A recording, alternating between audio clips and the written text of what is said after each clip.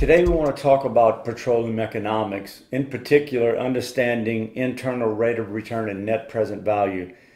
These are two common economic parameters that we use frequently when we're evaluating oil and gas projects. So the first one is internal rate of return, which is IRR, is the abbreviation.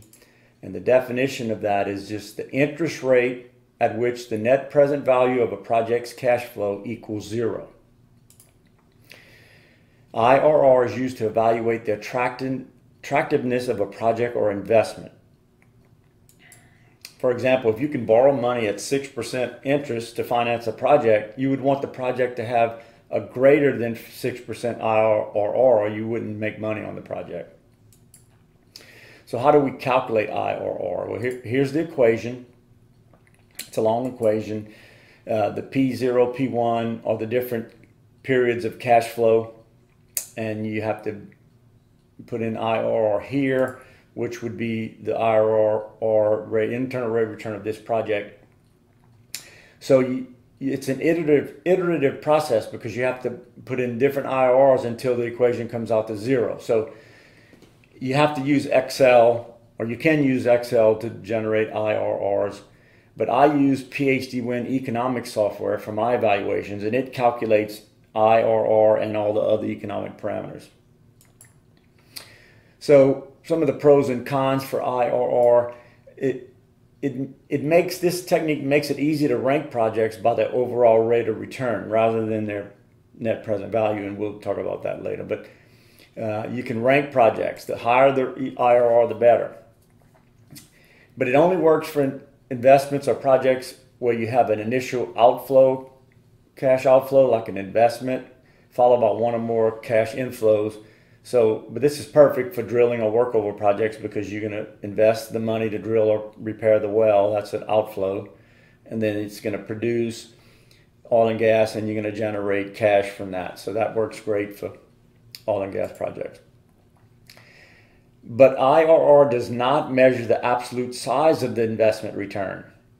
For instance, if you have a smaller project that has a high rate of return but only makes a profit or a net present value of a, of a million dollars versus a large project that might have a smaller rate of return but it has a profit of $10 million. So you couldn't use IRR to pick the right project maybe for this case.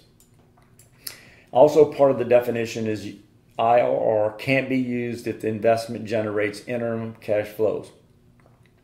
And also, you have to have an investment to calculate IRR. If you're just evaluating producing wells, you can do a cash flow and net present value, but if you don't have an investment, you can't calculate IRR. All right, so here's a typical drilling prospect evaluation. So we want to evaluate this project. Here's a rate versus time graph with oil and gas here, gas is green, and we have the estimated or expected production from the well when we drill it. So we're going to drill the well this year, late this year, it is $6 million, and then it's going to IP or initial production in January 1st. So you put all this in your software and you add in the operating expenses, your ownership, your oil and gas prices, and you use the software to generate a cash flow or reserve report for this drilling prospect that you're trying to evaluate. So let's look at what the cash flow report looks like. Here it is. PHDwin calls it an economic projection report, but it's basically just an annual cash flow report for the project. And you have the oil and gas each year that you're projecting to produce based on your reserve graph that I showed you. And you have to also put in your investment of $6 million here. And the program will take all this information and calculate an un, a non-discounted cash flow, just how much money you bring in each year. Here it is per year. But on the far right is the cumulative discounted cash flow. So that's based on uh, a 10% discount rate. That's just kind of a default rate we use to get started with. But for instance, this project, if you look at the cumulative discounted cash flow, it would have a value or net present value PV10 of one, about $1.6 million. So you get that. But we're trying to find the IRR right now. So IRR, if you look at this table of economic indicators, the IRR is 26%. So That's pretty good for a drilling well. And then the program will also generate these other parameters. But I want to call your attention to this table at the bottom. PHDwin calls uh, it a pre present worth profile, but we really call it a net present value. So anyway, here's the different discount rates and the net present value at that discount rate. So you can see as you go higher on the discount rate, the value of the project goes down.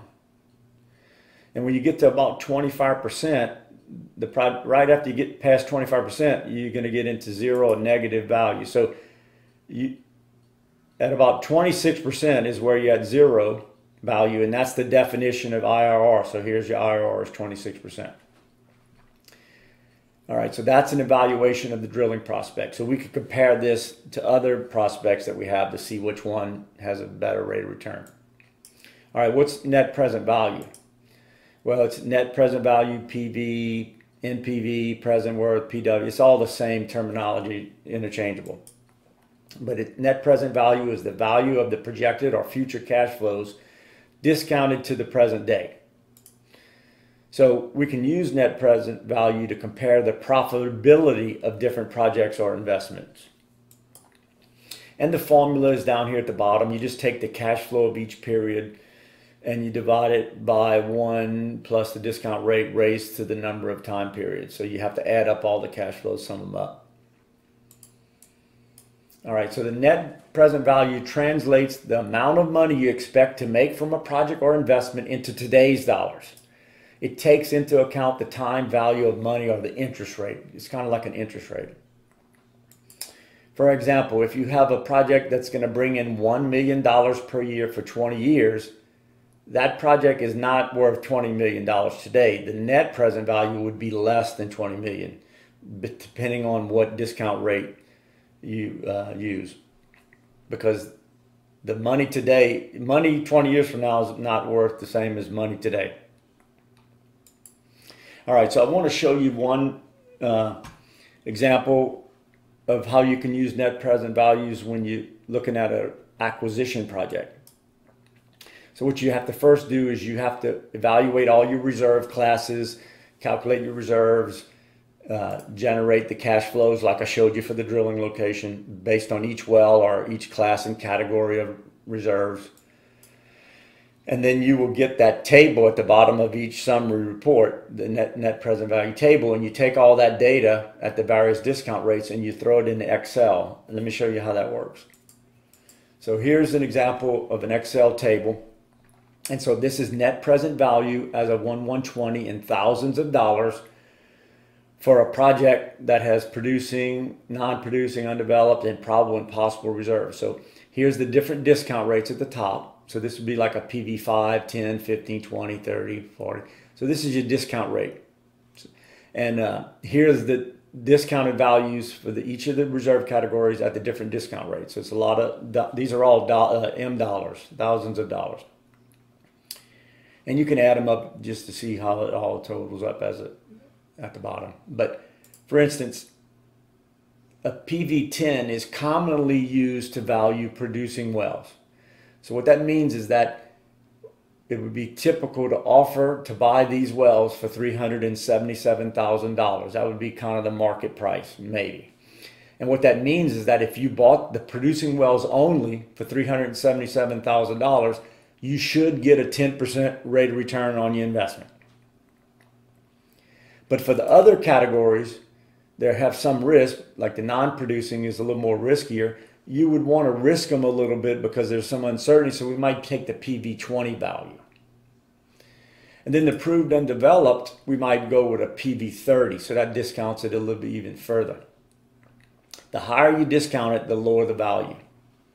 So you could have the proved reserves here and the probable possible. So for the probable, you might use a PV40, and the possible, you're going to risk it more at a PV50. So for example, we're saying the possible reserves are worth $243,000, but a PV10, which would be a typical, you know, for reserve estimates, is 741,000. So we're really risking the possible reserves. We don't want to pay the full value because they have, they're, they're not proven.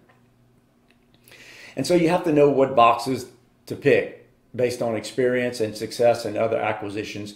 And you have to understand the market because if you discount these values too heavily, you will bid too low and you won't get the project. So this is a easy way to document your bid and to pick a bid number. So if you add up the numbers in these red boxes, you get $1,738,000. So that would be based on this method, the recommended bid price or purchase price. So that's one way of understanding net present values and using them, you know, to bid or risk, you know, a bid. So uh, it's commonly done in acquisitions. All right, so please uh, let me know if this was helpful. I hope it was. If you have any questions, reach out to me on LinkedIn or call me, and I'll be glad to help you if I can.